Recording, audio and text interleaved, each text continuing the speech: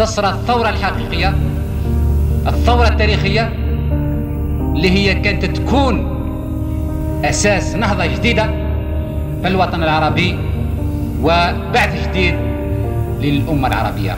لعله أبرز رجالات السياسة والحكم في الجزائر في النصف الثاني من القرن العشرين محمد بوخروبة الملقب بهوار بومدين. رجل ثورة انطلقت مسيرته النضالية عام 1954 وعين قائدا للناحية العسكرية الخامسة. بعد ثلاث سنوات قضاها مدربا ومنشئا للخلايا العسكرية وصولا إلى قيادة أركان الجيش بعد الاستقلال ليتربع بعدها على سدة الحكم رئيسا للبلاد. ما ميز فترة حكم بومدين؟ ليست سنواتها الثلاث عشرة وكونها ثاني أطول فترة حكم لرئيس جزائري ولكن قراراته التي وصفت بالثورية أولها وأبرزها تأميم المحروقات ومصادر النفط. قررنا تأميم الغاز الطبيعي الموجود في الصحراء. ثالثا بومدين الثوري الذي اعتمد مبدأ التعليم والثروة للجميع جعل نهضة الجزائر قوة سياسية وعسكرية وثقافية نصب عينيه بإطلاقه الثورات الثلاث الزراعية والصناعية والثقافية مكرسا لفترة مجيدة من تاريخ الجزائر الفتية.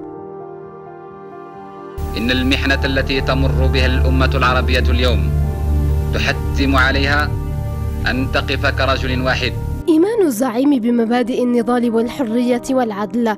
جعل القضية الفلسطينية محور سياسته الخارجية. فالجزائر مع فلسطين ظالمة أو مظلومة. شعار تاريخي أبدي. أطلقه الراحل وبقي راسخا إلى اليوم. ذلك لا لتحرير القدس وفلسطين فحسب ولا من أجل العقبة فقط بل وأيضا للقضاء على الأمبريالية والصهيونية وجميع أنواع العنصرية الأخرى. لم يكن وفاء الزعيم الراحل لقوميته العربية لفلسطين وحدها بل تجسد ذلك خلال مساندته لمصر في حرب أكتوبر ليشمل كل قضايا التحرر والانعتاق من الاستعمار والتبعية عبر العالم أجمع الثامن والعشرون أكتوبر من عام 1978 كانت آخر صفحة تطوى لثاني رئيس جزائر الاستقلال. غادر هواري بومدين لكنه ترك مسيرة وإرثا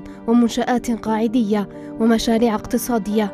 واسما بارزا لم ينسه الجزائريون رغم مضي أزيد من أربعة عقود.